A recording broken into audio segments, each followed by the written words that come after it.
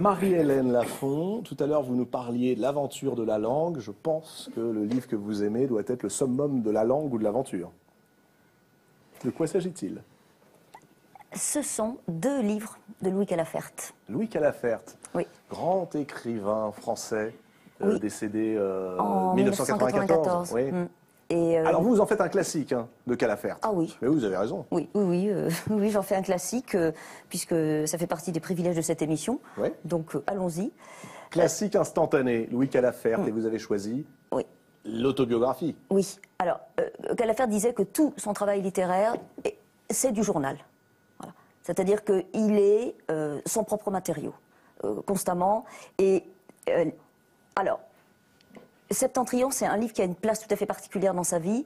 Il met 4 ans à l'écrire et ce livre va être interdit pendant 20 ans. Ouais. Alors c'est incroyable, racontez-nous un petit peu. Et interdit pour quelle raison? Interdit euh, parce que c'est un livre qui dynamite absolument tout. Voilà. Euh, c'est un livre euh, totalement orgiaque. Interdit.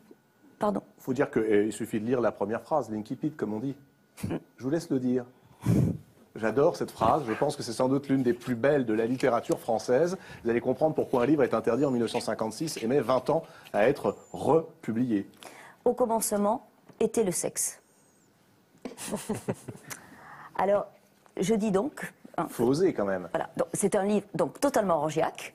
Alors, du point de vue sexuel, du point de vue lexical, du point de vue politique, du point de vue social, euh, parce que c'est un livre qui raconte l'invention d'un homme. Voilà. Comment un homme invente sa vie?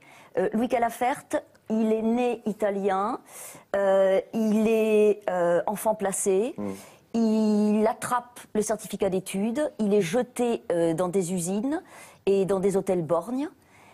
Il euh, lit un premier livre vers l'âge de 12-13 ans, il contracte le virus de la lecture et euh, il parle, pour toutes ces années-là, les années d'incubation, il parle, il, il dit que c'est euh, le- le- les années affamées. Voilà. Hein. Et de Le fils aîné de l'insouciance, dit-il en parlant de lui. hein. voilà, voilà. Et de, de- de ces années-là, de ces années-là, la rage de vivre. voilà, qui sont des années affamées et enragées, il va faire le matériau de ses livres. Il va connaître des périodes fastes, hein, avec euh, un très très grand succès, avec son premier livre, Le, Le Requiem des Innocents. Il va connaître cette, cette interdiction du maître livre Septentrion. Et il va écrire de la poésie, du théâtre, des essais. Il va peindre aussi.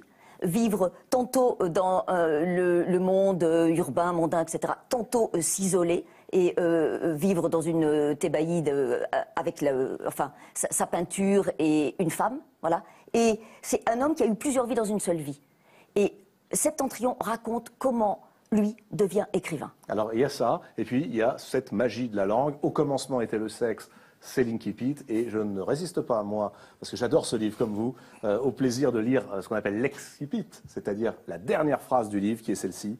Sur ce bonsoir, j'en ai assez dit, ita missa es. La messe est dite, et c'est quand même assez génial, Septentrion. Septentrion, une des plus belles histoires d'amour, de la page 323 à la page 339. Ah oui. De l'édition Folio. Une des plus belles 323, histoires. 339. Oui, une des plus Si on veut aller vite, on fait ça. Ouais, Une des plus belles histoires d'amour. Pendant des J'adore. petites vacances. Oui, pour des toutes petites vacances. Voilà. Euh. Et, et page 421, une, une ode au jambon de Paris.